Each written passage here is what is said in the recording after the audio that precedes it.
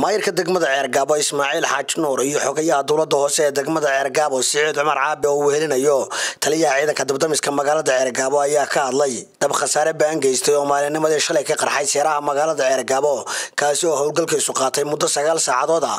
Waxaana mas'uuliyiintan ee faahfaahin ka bixiyeen khasaaraha uu geystay dabkaasi. Iyagoo arrimaha iyo arrimo kale ka hadlayana waxaa hadaladoodii ka mid ahaa. Shalay dab baa kacay. Dabkaas waxaa u gurmaday kow ciidanka dadamiska uu hogaaminayo taliyaha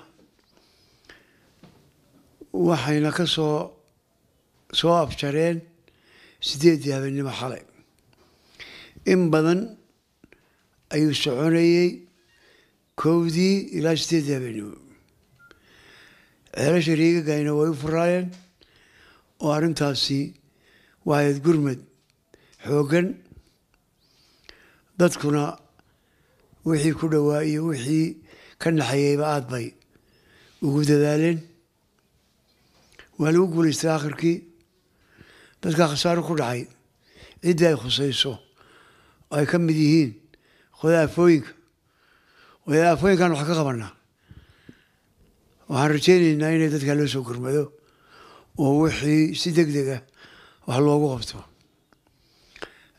Ciddii kale oo ay khusayso ama ka dirnaxaysaana waxaanu leenahay dadkaa loo gurmado si deg dega khasaare ballaaran baa ku dhacay. Ilaahay u yasraanu leenahay laakiin nasiib wanaag mar haddaan cidi ku dhiman waa alxamdulilah shalayto ka dhacay magaalada dab. Dabkaas laga waramay oo ay ku gubteen laba iyo toban beerood oo isugu jira beer cawsaad iyo beerahii khudradda iyo geedweyntu ay ka bixi jireen dhibaatada dabkaa keentayna waa uun dab la shiday oo ayaxaa loo shiday. Dadkuna xilligii barwaaqaday jiri jireen haddeer geedihii way qalaleen wax waliba haddii dab yari taabto waa bug waa qarxayaan marka dadka waxaanu u sheegaynaa inay iska ilaaliyaan dabka ay ku shidayaan waxyaabaha ama ayax ha noqdo ama si kaleba ha noqdo ay ka taxadaraan runtii waxaa ilaahay mahaddiisa inuu inoo shaqeeyey oo uu in muddo aba haddeer hawshaa waday tiimkii dabdamisku aad iyo aad si heegana oo howlkar ah bay u shaqaynayaan. Dadweynahana waxaanu leenahay halala shaqeeyo ciidanka dabdamiska dhammaanna waan idu mahad dabdamiska sida howlkarnimada leh ay u shaqeeyeen ay hawshaa u qabteen. Xagga kale de qolada dabdamiskana waxaanu leenahay shaqadii de waa bilow annagu dabdamiskayagii de in xagga sarena ayna soo xoojiso oo taliyaha dabdamiska iyo kooxdiisu ay xoojin fiican iyo waxtar iyo taakulaba waanu ka sugaynaa. Ku dhowaad beero labayo toban beerood oo isku jira beerato qoraar iyo beerato caadiya.